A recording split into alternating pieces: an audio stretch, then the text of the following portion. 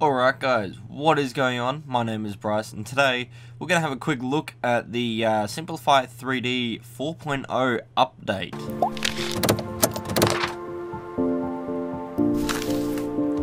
Alright guys, so uh, yesterday I got a very nice package of the um, 3D Printing Nerds Blue um, HTPLA from Protopasta and this stuff prints absolutely amazing.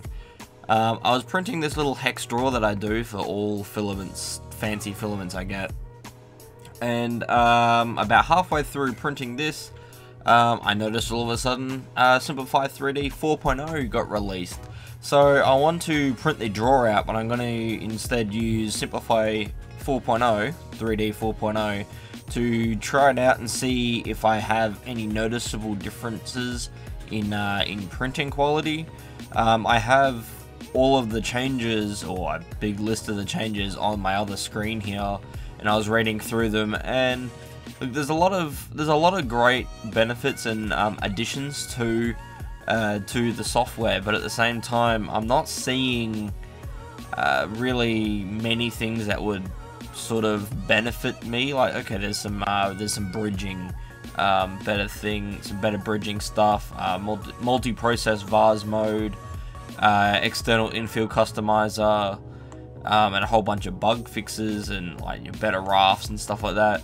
Um, the the new support material looks really good. Um, but there's a few other bits and pieces that I noticed. Um, a lot of it is really to do with a lot more of the uh, dual extrusion or, um, you know, sort of ooze ooze stuff and all sorts of stuff like that. So I thought I'd give it a shot and see how it goes. Um, I have the drawer that I want to print. It's the drawer with uh, two compartments in it. Um, I just imported it so it's round the wrong way. So we'll uh, drop this surface on the bed. Um, and I'll probably rotate it. Um, we'll rotate it.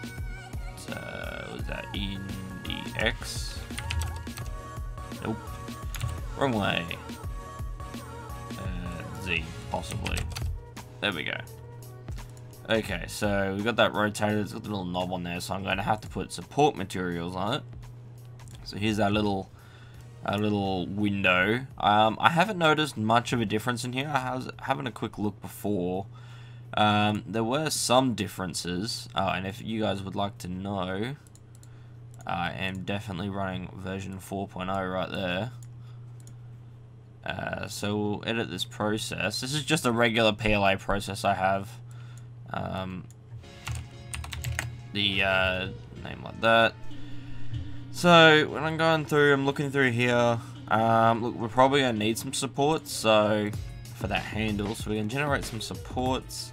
Um, they, I know a big thing that they added was you can now do supports through uh, two different extruders. Uh, I know Joel did a video on that as well. Um, you can now put uh, like PVA through a second extruder. Um, I don't have a second extruder set up for this printer, so obviously it only offers me one. And I normally I normally have four or six uh, dense infill um, support layers so that sort of when it contacts the part it doesn't leave massive zits. Um, uh, look, there's not really much to go by. Look, 45 degrees. Um, separation from part, that's all the same. Uh, temperature is the same. I'm printing with a stainless steel nozzle and I'm printing in the high temperature PLA so I need to print it a little bit hotter. Uh, fan speeds, that's okay. Um, setups for everything doesn't really change. Ending script still the same. Uh, the speeds still the same. Uh, there is some bridging changes. I did read somewhere over here that there was some sort of uh, implementation in bridging features. Um, I don't believe this part will need any bridging, so um, we don't really need to deal with that. Uh, there's nothing really else to to really mess around with. I do want to see what this preview looks like. It previewed really quickly too. Um, as you can see, there's lots of It's nice to see that a lot of the, um, the shift lines are on one side. I did notice that was a big thing with the older versions. They just sort of shifted between areas really, really sort of anywhere it felt like. Um, and there's a couple of splotchy bits where it came onto this side. Um, I like this, the little tool head readout. Um, I'll drag this back. It's to take about four hours to print. I know that's probably wrong. Uh, the infill looks good. Some dense infill as it builds around it.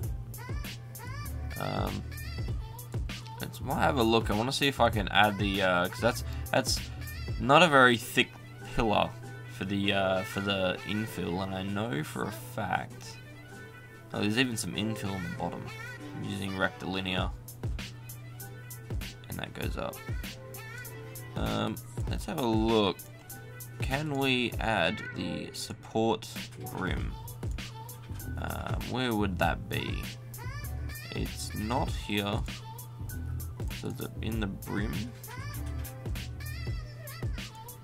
Um, maybe not. What if I reduce this? Oh. What if I reduce that to zero? Does the brim now go around? It does, look at that. The brim now goes around the support material. That's something I would have liked to have seen though, is like maybe a uh, addition of where you can have brim around the around the support material and not around the entire um, print. Um, that would be definitely a big benefit of the update. Um, and I know this isn't like the best part to to try the, the new features out, but I really don't have uh, the printer doesn't really have like it doesn't have a dual extruder extruder or anything like that so I can't really test out any of the dual extrusion things.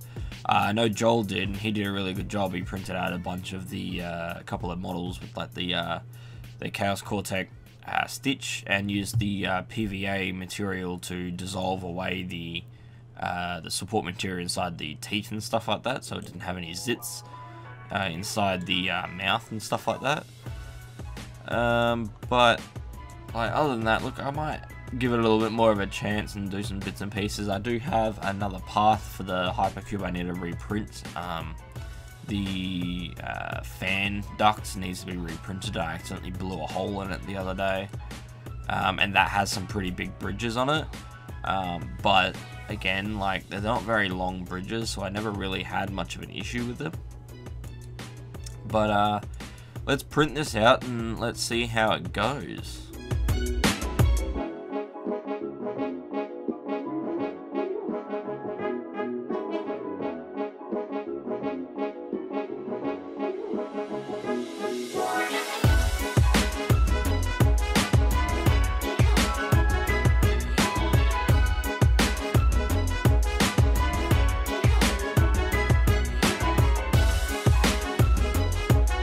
Alright guys, so what you've just seen is the uh, time lapse of printing this little guy.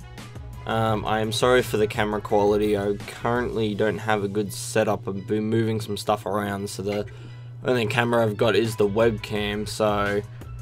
Um, this printed, using the Simplify 3D 4.0 profiles, um, it printed really well, um, maybe a little too well, uh, the bridging underneath the um, underneath the little handle here, um, that actually bridged really nicely. The surface finish came out really well, as it always does.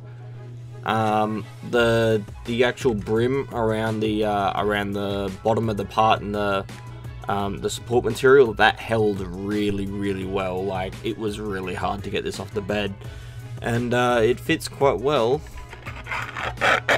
into the uh, into the little cubby right here. Um, it's a little tight, but that's as to be expected. But um, I just wanted to get this little this little video out. I know it's not a proper full-on review or anything like that. It's just like a quick uh, try of uh, Simplify 3D 4.0. Um, I won't really have a better sort of uh, sort of a uh, opinion about it until un until I've printed quite a few times with it and have messed around with settings and stuff like that. So, uh, other than that, guys, thank you guys for watching. Um, I do have another video on the way in the next week or so. Uh, keep your eye out for that, so make sure you subscribe. Uh, liking the video does always help, and uh, I'll catch you guys later. Peace.